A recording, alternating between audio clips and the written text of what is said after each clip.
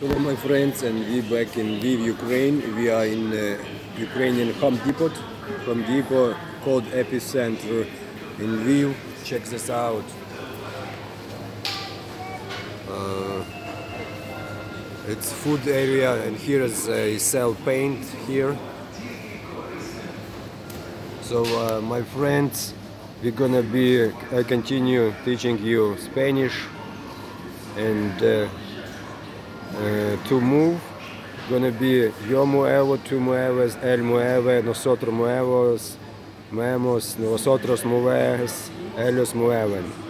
To say uh, decir, yo digo, tú dices, él dice, nosotros decimos, vosotros decís, ellos di- dicen.